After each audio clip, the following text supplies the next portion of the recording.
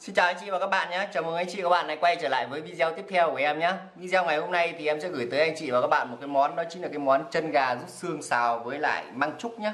Đây là một trong những món mà anh em nhậu rất là thích ăn. Thì để thực hiện được cái món ăn này thì em cần chuẩn bị một số các nguyên liệu, Bao gồm là chân gà thì em sử dụng ở đây là 500g chân gà nhé. Anh chị và các bạn đi mua thì lên chọn cái loại chân gà công nghiệp mà nó to như thế này này.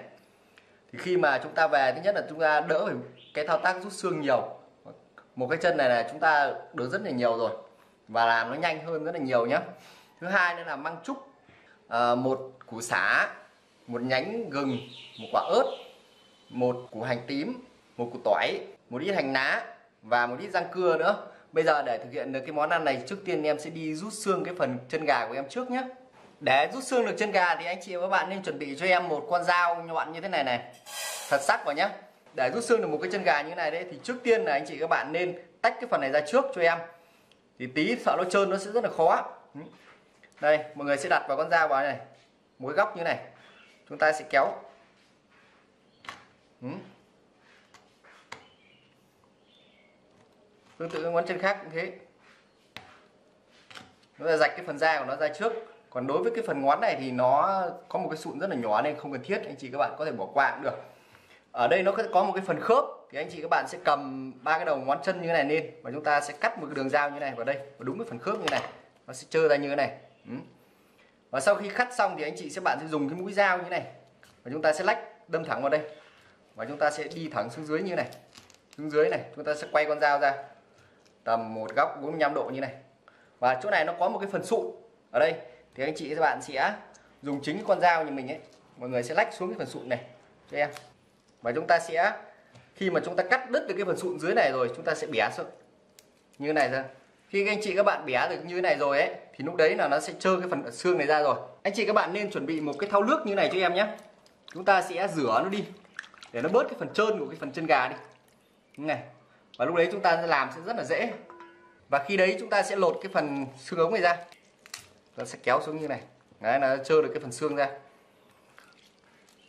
và đây chúng ta sẽ bẻ ra như này. Ừ, như thế chúng ta sẽ tách được cái phần xương ra. Lúc này thì cái phần chân nó sẽ rất là trơn. Anh chị các bạn nên cho vào rửa qua cái phần thau nước đi. Ừ. khi mà anh chị rửa qua đây rồi thì cái chân gà chúng ta nó tương đối là sạch và nó không trơn nữa. Thì lúc đấy chúng ta sẽ làm đến cái phần ngón này cho nó sẽ dễ hơn. Đối với phần ngón thì anh chị các bạn cắt phần da này ra cho em như thế này này.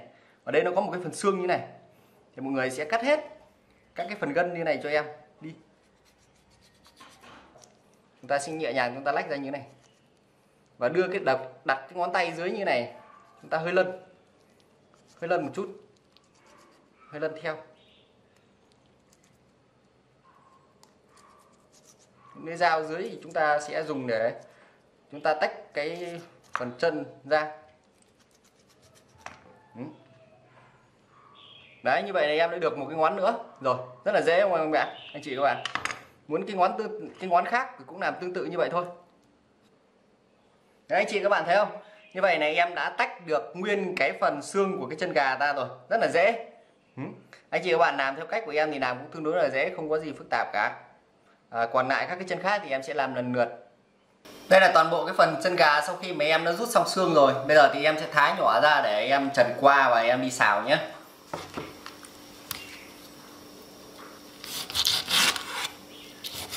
Chân gà là tương đối to cho nên là em sẽ thái làm ba như thế này.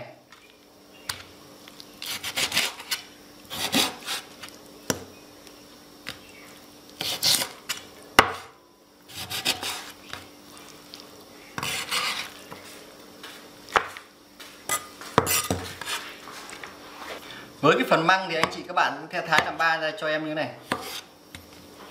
To thì chúng ta sẽ bổ đôi ra. Đấy, không thì chúng ta sẽ thái ra như thế này thôi.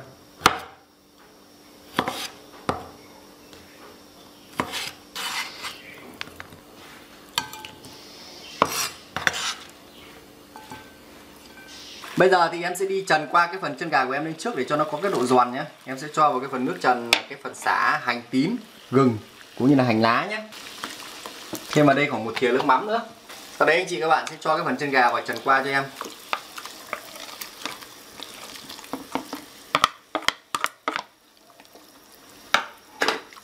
Sau khi cái phần chân gà đã trần sơ qua lên và nó sôi trở lại được khoảng tầm 1 phút rồi thì anh chị các bạn sẽ vớt nó ra nhé các em nhé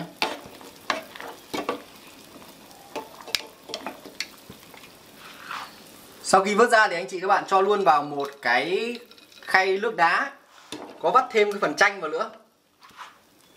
Để cho cái phần chân gà của chúng ta nó sẽ trắng và nó sẽ có cái độ giòn nhé. Tiếp theo là với cái phần măng chua thì anh chị các bạn cho trần qua cho em nhé.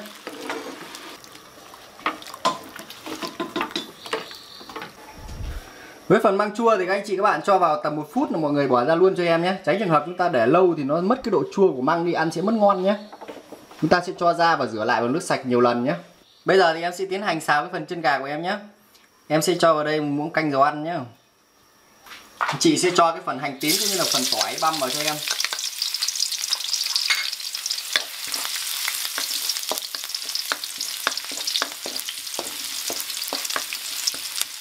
Tiếp sau đó chúng ta sẽ cho đến phần chân gà nhé.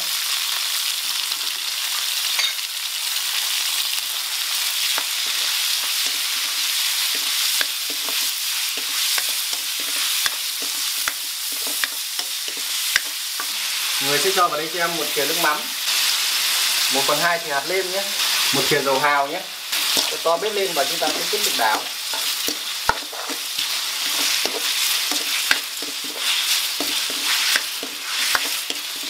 Tiếp theo chúng ta sẽ cho cái phần măng chua vào.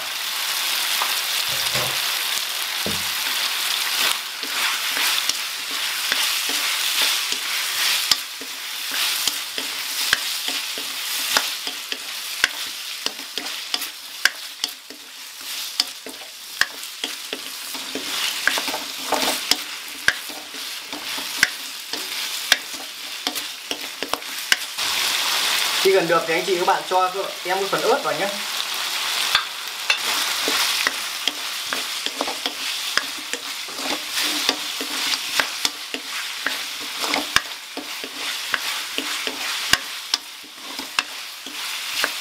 Cuối cùng trước khi cho ra thì anh chị sẽ bạn sẽ cho cho em cái phần hành lá vào.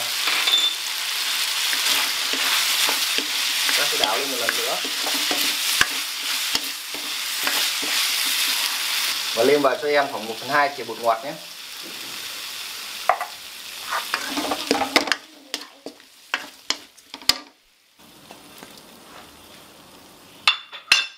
Thêm vào một chút lá rang cưa nữa. Ok, bây giờ thì em sẽ cho ra để thưởng thức thôi. Như vậy là em đã hoàn thành xong cái món chân gà rút xương xào em măng chua rồi. Bây giờ thì em sẽ thử một miếng chân gà xem sao nhá. Này, mời anh chị và các bạn nguyên một cái chân gà.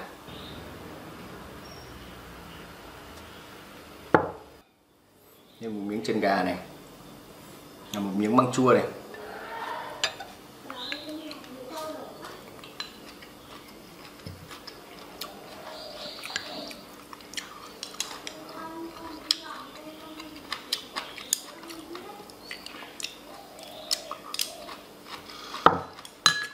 Với cái cách làm như này cái phần chân gà ăn rất là giòn và ngon. Thơm nữa. Cái phần măng thì ăn cũng rất là giòn.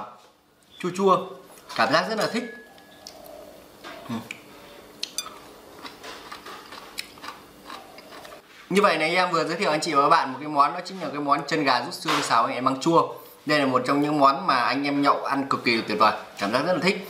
Như video của em đến đây đã kết thúc rồi. Cảm ơn anh chị và các bạn đã theo dõi video của em nhé. Nếu thấy video của em hữu ích thì nhớ bấm đăng ký kênh để ủng hộ em nhé. Và bây giờ thì xin chào và gặp lại anh chị trong những video tiếp theo.